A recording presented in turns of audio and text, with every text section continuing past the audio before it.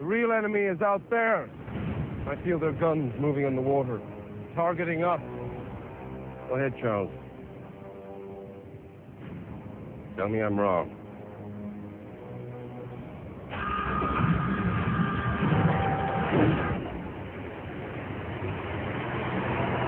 Fire!